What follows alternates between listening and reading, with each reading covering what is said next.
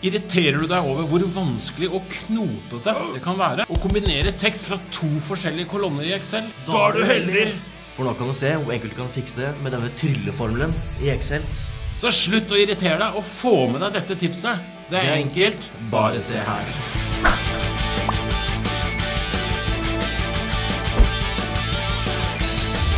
Hei og velkommen til et nytt fredagstips. I et tidligere tips viste vi deg hvordan du kunne splitte informasjon i kolonner i Excel. I dette tipset skal du se hvordan du kan kombinere tekst fra to forskjellige celler til én i Excel ved hjelp av en liten magisk formel som gjør hele jobben for deg. Har du noen gang jobbet i Excel, så kjenner du deg sikkert igjen i denne problemstillingen. Du har to kolonner.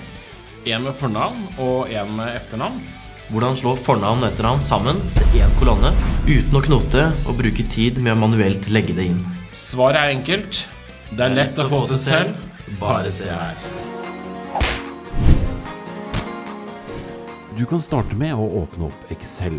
Som du kan se her har jeg laget et enkelt Excel-ark med to kolonner. I den ene kolonnen har jeg fornavn, og i den andre kolonnen har jeg etternavn. Nå kunne jeg tenke meg å automatisk slå sammen innholdet i de to cellene her i denne kolonnen, helt automatisk uten å måtte taste dette inn manuelt. Det er jo så kjedelig, så hva gjør du? Her finnes det en magisk formel som gjør jobben for deg.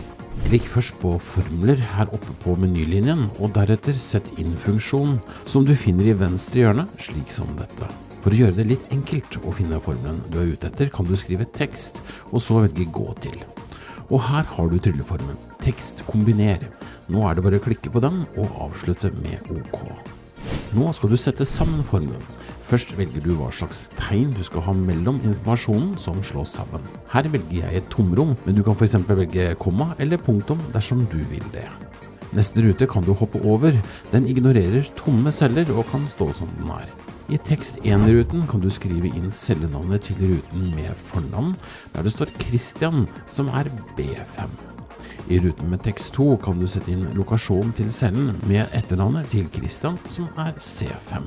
Trykk OK helt til slutt. Som du kan se, slår Excel sammen cellene. Nå gjenstår det bare å fylle kolonnen.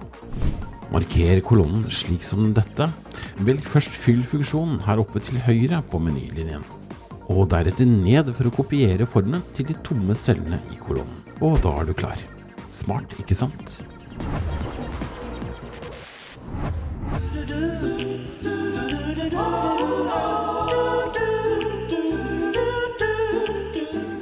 Oi! Hva er dette for noe? Er det nye Microsoft Surface? Den nye Surface eh, 365 med USB-C i en kabel som eh, gir strøm til alt sammen. Enkelt, lite tastatur, nett, alt er trådløst. Superbra. Yes. Helt ny modell, ferskt. Det er nesten ikke gitt ut engang. Ah, det er vanvittig kult, ass. Rigga til å bare kjøre alt fra skya. Har du lyst til å prøve? Ja, gjerne det. Ja, eh, da trenger jeg kredittkortet ditt. Kredittkortet mitt? Eller Trenger jeg det? Ja, gi meg kredittkortet ditt, skal jeg vise deg. Ok. Mm.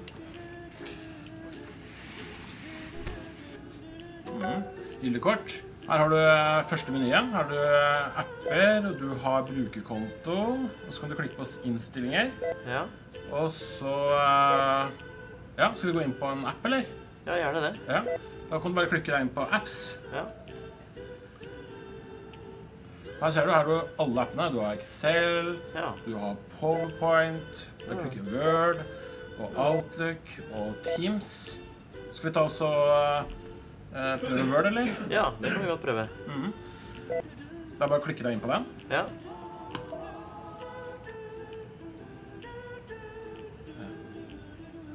Der har du Word.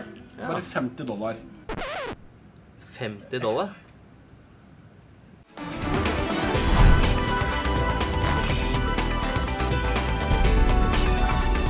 Det var alt vi hadde for i dag. Takk for at du så på. Likte du tipset og vil se flere tips fra oss, abonner gjerne på YouTube-kanalen vår. Eller følg bloggen vår. Vi kommer med nyheter og tips hver eneste uke.